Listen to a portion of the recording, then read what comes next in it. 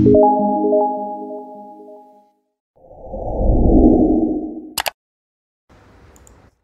everyone, welcome to Smart Math Online Tutor. Through this video, we are going to look into equiangular triangles. So first of all, let us see what are equiangular figures. A plane figure with the following features are called equiangular polygons. The features are the angles of one polygon must be equal to the angles of the other polygon. And the second feature is that the corresponding sides of polygons must be proportional. So if two plane figures satisfy these conditions, the two figures are said to be equiangular. Then you have to remember the following facts. The first thing is that equiangular figures are also called similar figures. So if they tell equiangular triangles or similar triangles, both means the same.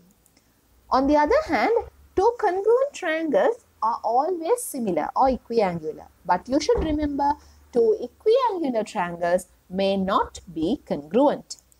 And the next thing is if two angles of a triangle is equal to two angles of another triangle, then the two triangles are similar because definitely the remaining third angles must be equal because always the sum of three angles in a triangle is 180. So these three factors are to be kept in mind when you deal with equiangular figures.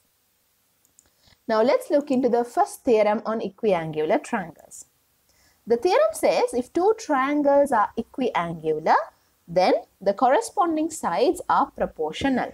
Now look at this diagram. There are two triangles ABC and PQR. Some angles are marked as equal. So then we can write according to the given data, angle A and angle Q are equal. Then angle C and angle P are equal. These are data. Since two angles are equal, definitely the third angle must be equal. So you can write angle B is equal to angle R. That is because it is the third angle. So if the three angles of one triangle are equal to the three angles of another triangle, the two triangles become equiangular. So then we write triangle ABC is similar to triangle PQR three parallel straight lines as I have marked between ABC and PQR is the symbol used to show the similar triangles or similar polygons. So here you can use this symbol to show equiangular triangles. Now because these two triangles are equiangular, we can write the corresponding sides like this and they are proportional.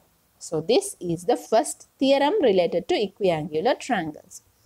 And the converse of this theorem is the second theorem that is if the three sides of a triangle are proportional to the three sides of another triangle then the two triangles are equiangular. Now, previously if the triangles are equiangular sides are proportional.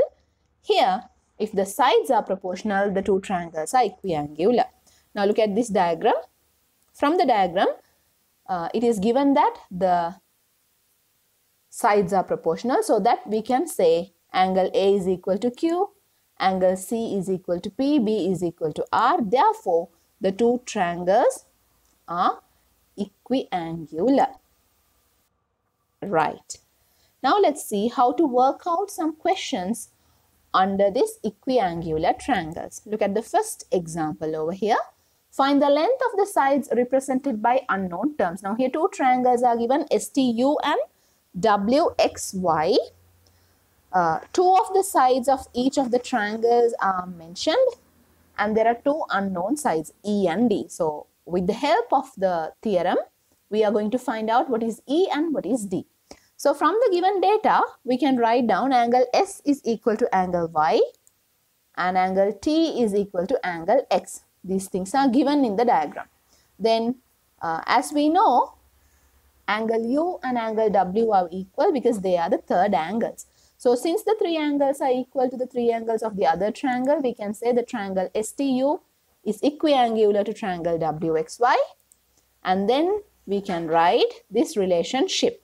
So when you write down the proportionality, always you have to select the sides carefully. Now SU is opposite to angle T. The respective side opposite to angle X which is equal to T is WY. So SU over WY is equal to UT over WX. So when you substitute the values you get 10 over 10 is equal to 8 over D. So here zeros can be cancelled. When you cross multiply you get D is equal to 8 centimeters. On the other hand, in order to find E, we write SU over WY is equal to ST over XY. Once substituted, you again get 10 over 10 is equal to E over 5.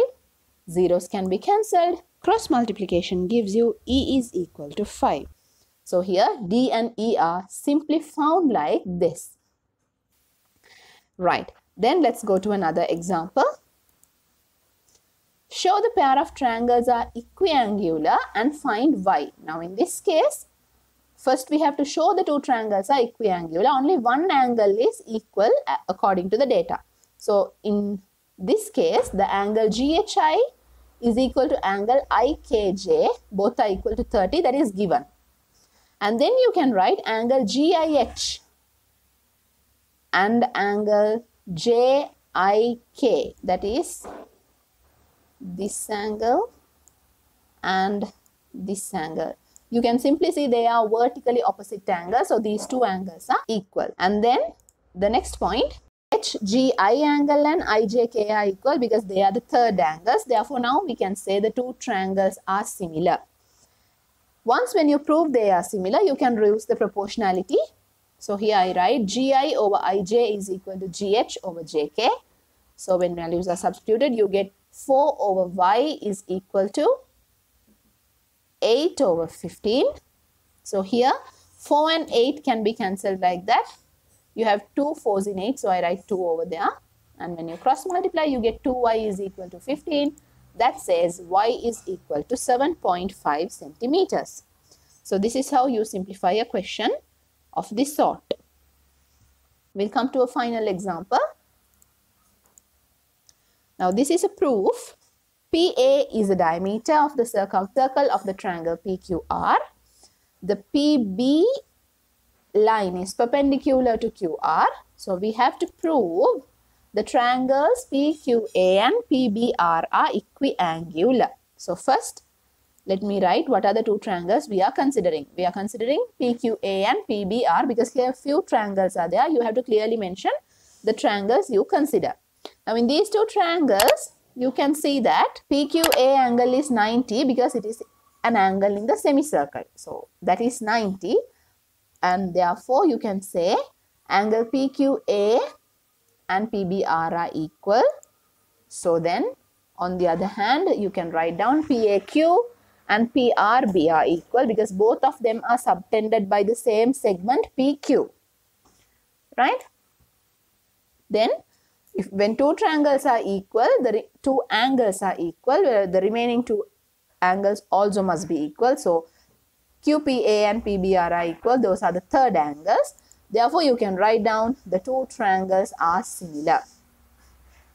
And then the second part is to prove PQ over PB is equal to PA over PR. So, first we can write that these two triangles are similar. That is already proved. So, once when they are proved similar, you can write down this proportionality because they are the corresponding sides and they are proportional.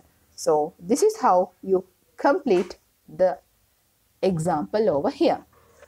So hope I made myself clear about equiangular triangles and the theorems on it and how to apply the theorems in questions. So see you with another smart method. Until then, goodbye.